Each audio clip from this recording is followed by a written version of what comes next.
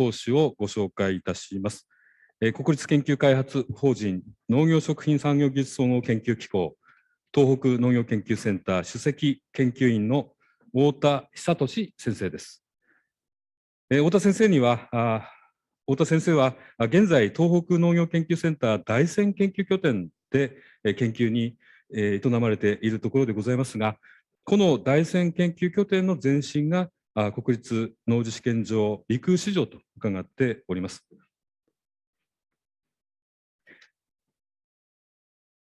この陸空市場が江差金札米誕生のまあきっかけとなった陸132号という画期的な水筒品種を作り出した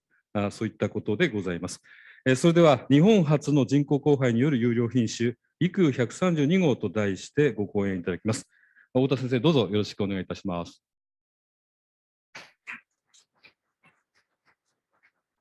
よろしくお願いします。えっ、ー、と、東北農県で、あの、今も水筒の品種育成をしております。太田です。よろしくお願いします。今日は、あの、まあ、あの、優しい金札米で最初に、まあ、品種として利用された、えー、陸132号の、まあ、いわゆる育成の背景とか、まあ、育成の経過とか、そのあたりを紹介したいと思います。よろしくお願いします。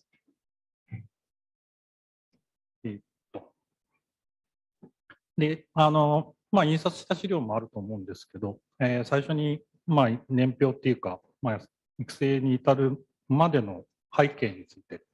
少し説明しますけども、えっ、ー、と、明治、まあ、西暦でも書いてますけど、1882年とか1892年に、えー、まあ、陸132号の親となる、まあ、親の元ですね、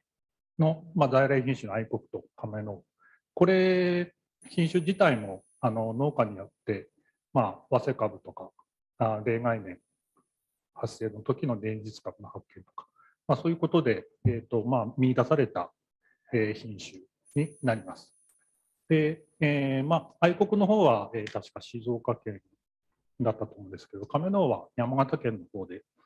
えー、私の出身したところで、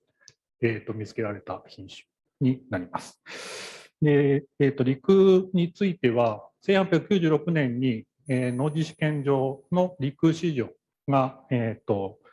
えー、大曲市、今の大仙市に設置されております。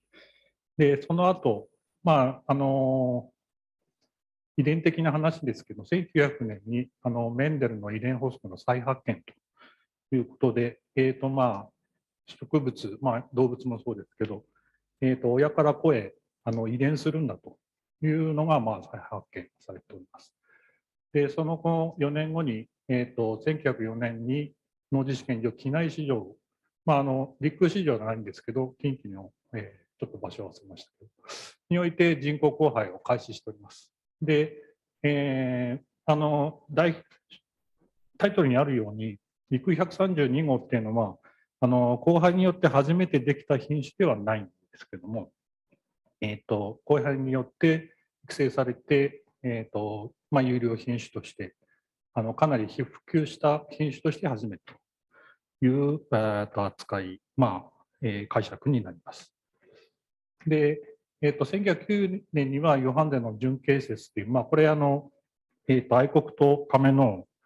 から陸132号の親となるものが、まあ、選抜されているというんですけど、それに関わる準形説、受刑分離法ですね、が1909年に、えーとえー、発表されています。で、えーと、実際に、えーと、育成が始まったのが1910年、えー、陸市場で、えーまあ、準形選抜と人工交配を開始しております。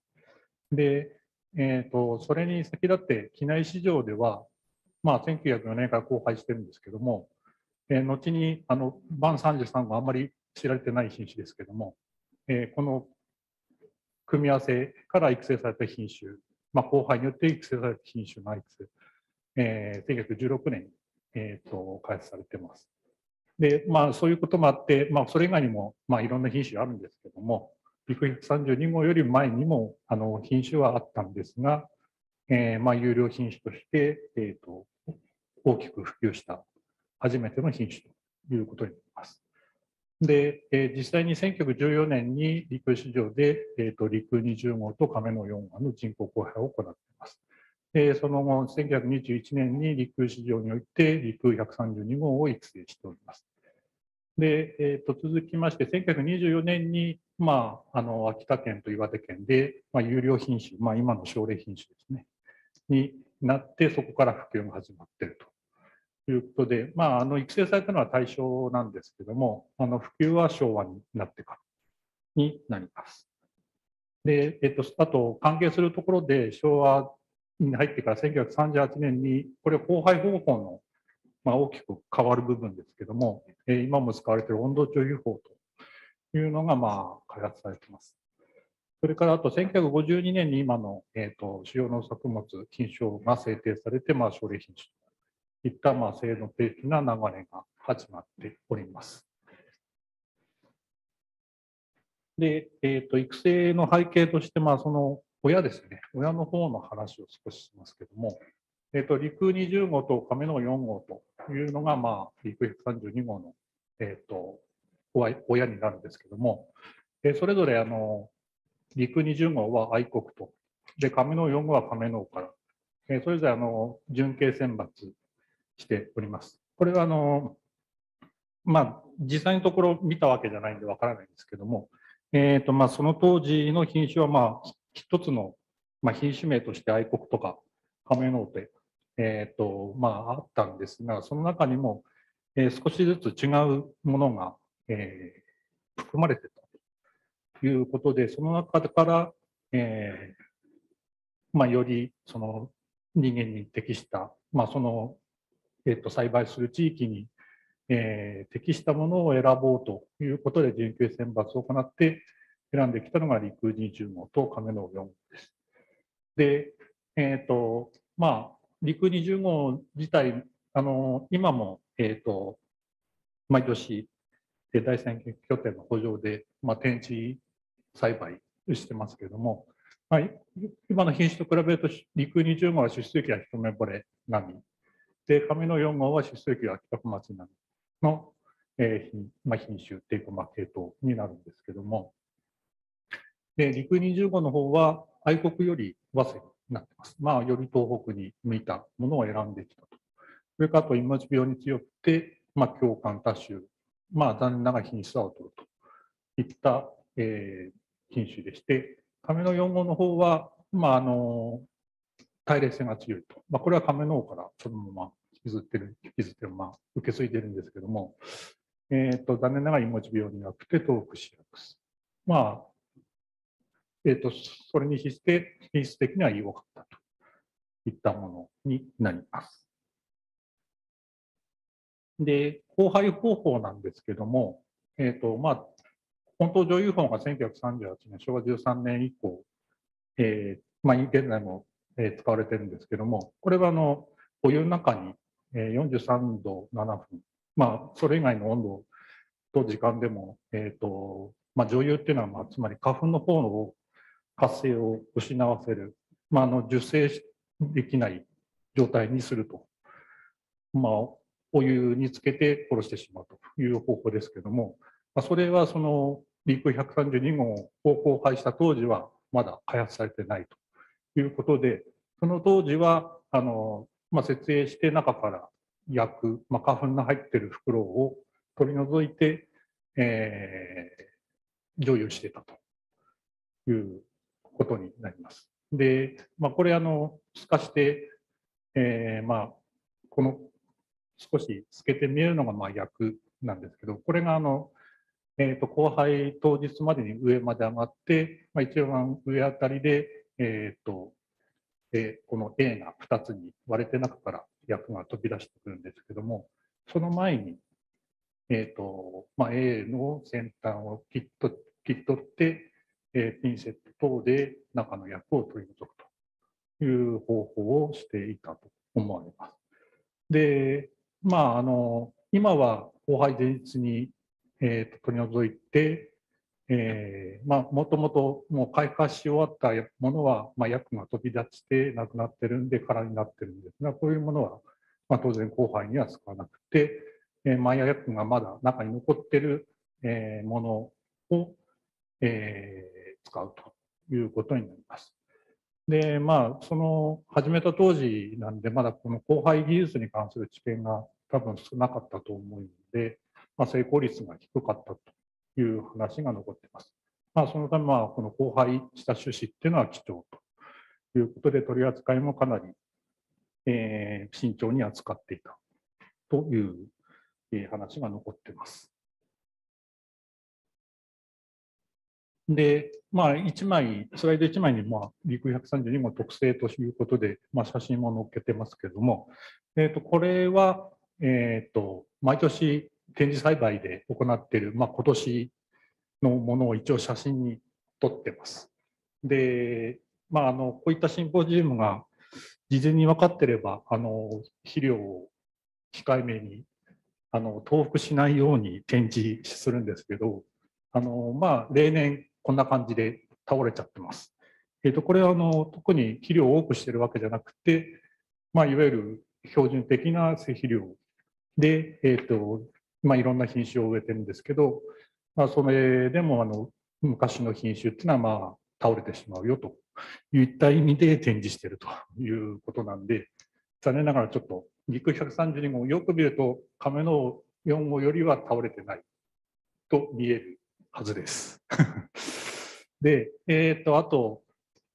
えっ、と、これが、えっ、と、陸20号、亀の4号で、陸132号。まあ、あの、まあこの状態で、あの、株上げしてサンプル、えー撮って、写真撮ってるんで、まあ、実際このくらいの差がわからないんですけども、まあ、おおよそ、えーイメージとして、亀の4号は少し長くて、えー、と陸132号の方は短いといった意味で、えー、と東北にも強くなっていると。で、陸20号の方は、まあ、出水が遅い分もあって、まだ緑が残ってて、えーまあ、と亀の4号よりは倒れてないという、まあ、そういう、えー実際の栽培している状況になります。で、あと、米の方ですけども、えっ、と、まあ、あの、展示してるだけなんで、まあ、まあ通常はこういう、まあ、調査はしないんですけども、まあ、今回のために一応米にして、えー見てみました。で、えっ、と、まあ、印象としては陸20号なんですけども、まあ、いわゆる円粒丸っこい粒で、えーちょっと写真では分かりづらいんですけども、あの原城が多発してます。ですんで、まあ、今の、えーまあ、北小町とか姫惚れ等の品種に比べると品質はかなり落ちる。まあ、これでも綺麗な粒で写してるんですけども、まあ、原城がかなり出て品質は悪いということです。で、画面の4号の方は、えっ、と、まあ、ちょっと激しく重複してるんで、ちょっと玄米品質がこれで正確なのかっていうのはちょっとわからないんですけども、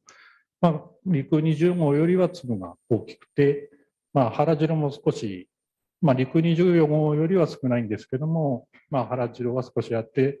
まあ、いわゆるあの、粒が少し大きめなので、えっ、と、酒米に使われてた。まあ、亀の自体が、えっ、と、酒米に使われてた品種にもなるんで、まあ、そういったことで、まあ、この米を使ってたのかなというのが見えます。で、陸132号のついては、えー多少原城が、まあ、今年の気象のせいかもしれないですけども、まあ、原城が見えるんですが、えっ、と、まあ、今の秋田小町と、まあ、それほど遜色のない品質になってるのかなというイメージになります。まあ、あくまでもこれ、あの、今年だけ あの、ちょ、見てみた結果ですので、あまあ、正確なものではないかもしれないんですけど、まあ、一応、まあ、およそ、えっ、と、言われていたものと同じような米がで、まあ、あった、になったのかなということです。で、えっ、と、あと、えーそれ以外の特性については、えーまあ、陸20号と亀の4号から、えー陸132号の出水期は秋田小町並み。で、対極性は亀の、まあ、亀の4号より強い。いもち、いもちについても、まあ、実際に今の、えーと、育成の試験の中に、えー、で試験限定をしているわけじゃないんですけども、まあ、亀のよりは強いというのがあ言われます。で、耐冷性についても亀の並みか亀のより、まあ、やや強いという、えー、今のちょっと実際にこれ用に試験したわけじゃないんで、はっきりとは言いづらいんですが、まあ、こういう評価になります。で、えーとまあ、系譜的に言うと、陸20号の方から、まあ、荷物病の抵抗性と、まあ、対等不正。で、亀の4号の方から、まあ、和性とか、で、まあ、あと対冷性それぞれ、えーえーと、選んで、まあ、えー、系譜的につながって陸132号にまとまったというイメージになります。で、まあ、こういったことからの、その準系選抜の方は、もう陸、まあ、愛国由来だとは思うんですけど、まあ、陸20号のように、まあ、あの元の品種の方で、えー、まあ品質が悪かったりして、えー、その中からあの品質のいいものを選ぶというのはかなり難しいですけども、えー、まあ品質のいいものからと合わせることで、まあ、両方のいい特性を合わせ持つ品種ができるということになります。で、まあそういったことから、まあ、準決選抜から後輩育種へ行く流れに、えーまあ、この辺の時代からなってきているということです。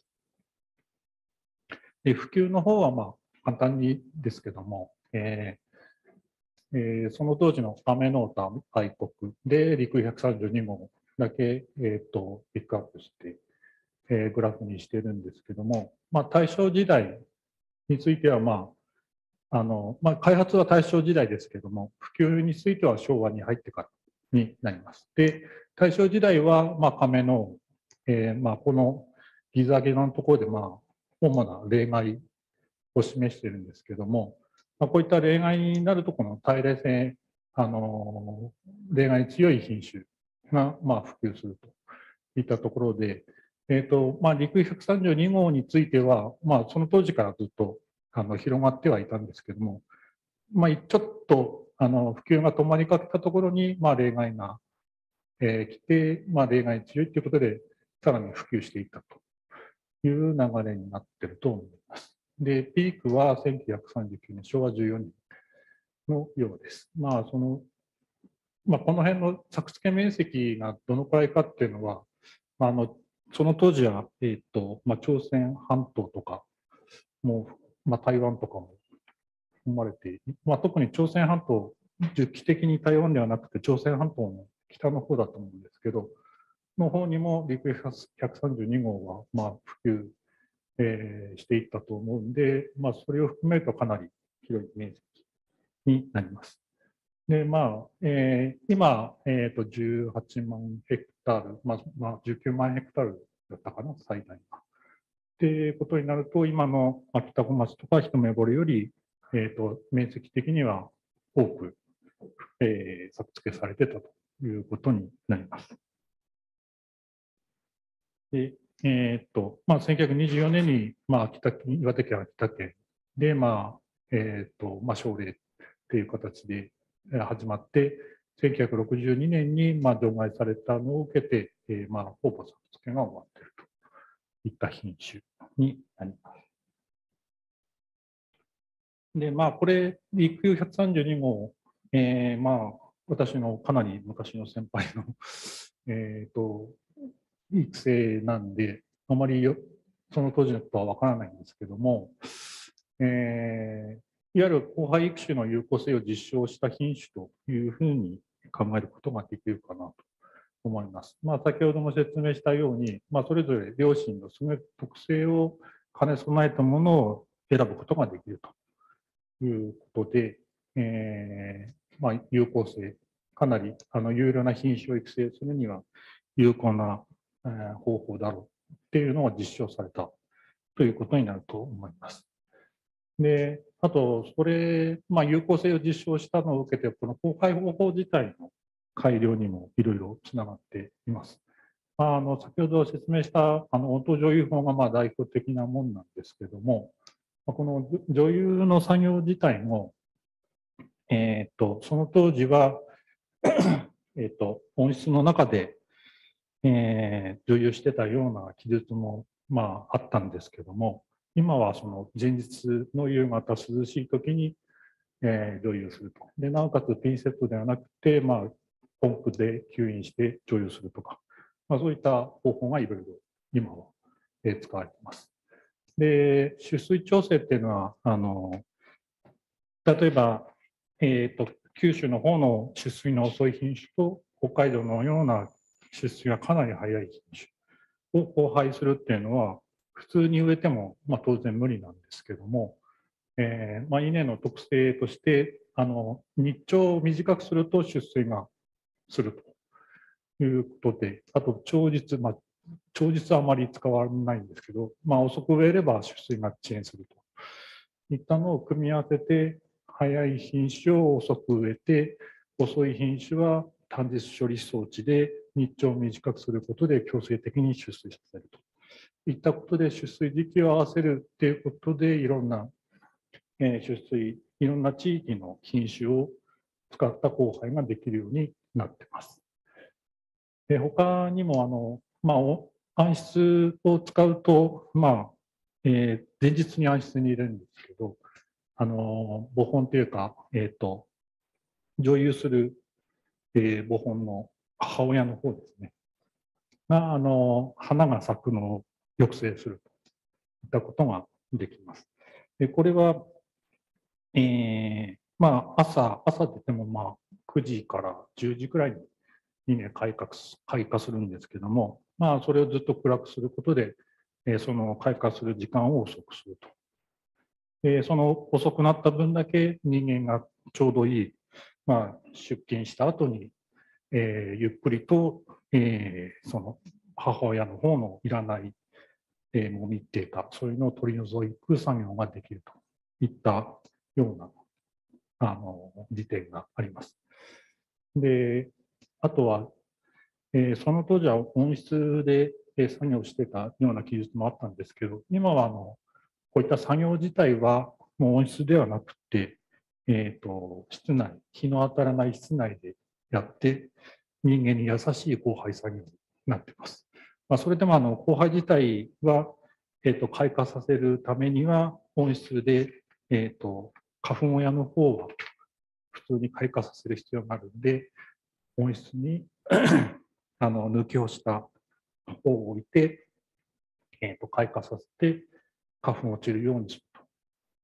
ということで、まあ、最終的にな交配さあの自体はあの温室のえー、まあ、虫広みたいなところでやるというのは変わってません。えーと、それから、まあ、か花粉屋の開花促進というか、まあ、あの花粉を散らすためには、あのまず咲か咲いてもらう必要があると、この円が開く必要があるんですけど、その部分は、えっ、ー、と、まあ、まあ、お湯の中に少しつけると、その、えー、ショックで開花するとか、まあ、あとはまあ叩きつけるとか、まあ、この辺はあの実験で実証されているような話ではないんですけど、まあ、そういったことが、まあえー、と受け継がれて、まあ、方法としてやられているということです。であと、袋掛け自体、まあ、当時から袋掛けしてたのかちょっと分からなかったんですけども、あの今は、えーと、取水あの受粉性させた後に他の花粉が入ってこないように袋掛けをしてえ花粉の混じりを防ぐとか、まあ、そういったまあいろんな、えー、交配種が有効だというのが実証されたのを受けて、まあ、交配をどんどん改良していったというのが影響としてあると思います。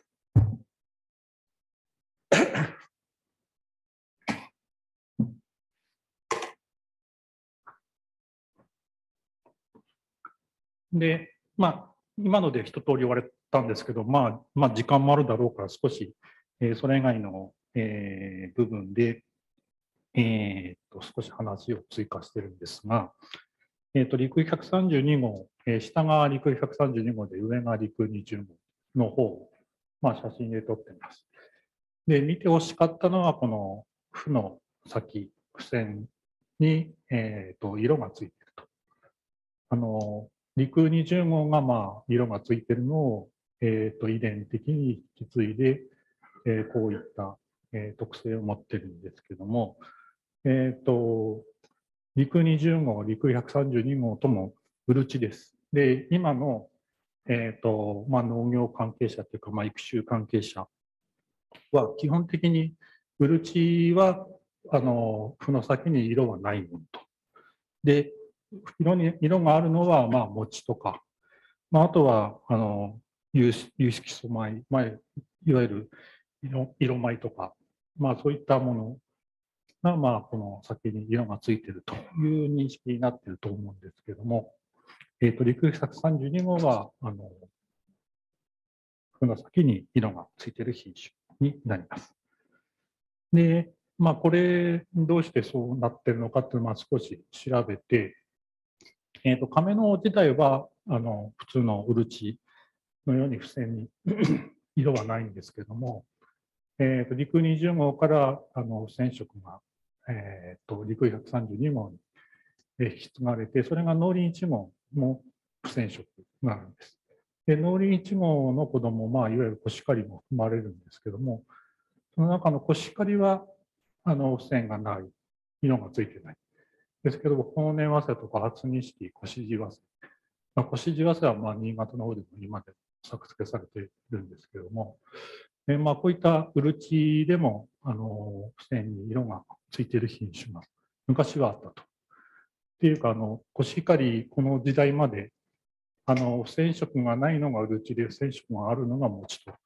いう認識はなかったと思われます。特にそういうふうに人為的に選抜しようとしたという、この流れからいくと読み取れないということです。で、まあ、過去に、まあ、これはあの、のり番号をつけた品種だけしか調べてないんですけど、えー、と1960年に、まあ、単調餅という、まあ、広島で朝礼品種になった品種があるんですけども、まあ、その時に初めて、えっ、と、